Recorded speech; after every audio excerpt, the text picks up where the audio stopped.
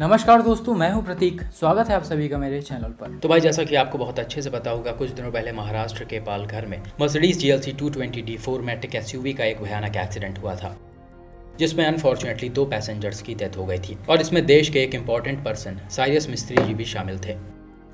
अब इस एक्सीडेंट और कैजुअलिटीज का रीजन मैंने आपको पहले वीडियो में भी बताया था कि ओवर स्पीडिंग और सीट बेल्ट ना पहनना इसका मेन रीजन लग रहा है।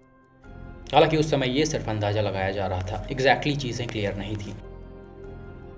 लेकिन अभी सब कुछ क्लियर हो चुका है, ये कैसे हुआ और इसमें किसकी गलती थी? सबसे पहले तो मर्सिडीज़ ने ही काफ़ी कुछ बताया। एक्चुअली जिस गाड़ी से ये एक्सीडेंट हुआ, वो मर्सिडीज़ की थी। इसीलिए उन्होंने एक्सीडेंटल एसयूवी को बाकायदा चेक किया और उसके डेटा चिप से उनको ये पता लगा कि गाड़ी तेज रफ्तार में थी रियर पैसेंजर्स ने सीट बेल्ट नहीं पहना था और अनाहिता जी जो गाड़ी को ड्राइव कर रही थी, वो सामने की चीज़ों को सही से जज नहीं कर पाई।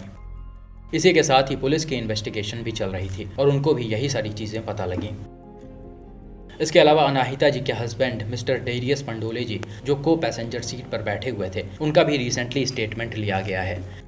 उन्होंने बताया कि एसयूवी थर्ड लेन में चल रही थी और उसी समय उनके सामने भी एक कार जा रही थी। तभी थोड़ी देर बाद थर्ड लेन सेकंड लेन में मर्ज हो गया और सामने वाली कार सेफली राइट हो गई।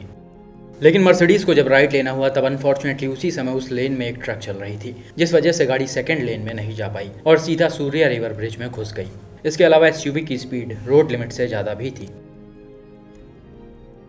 तो यहाँ इन्वेस्टिगेशंस की सारी रिपोर्ट बता रही है कि ड्राइवर यानी अनाहिता जी की इसमें गलती थी और इसीलिए रिसेंटली पुलिस ने इन पर केस रजिस्टर किया है।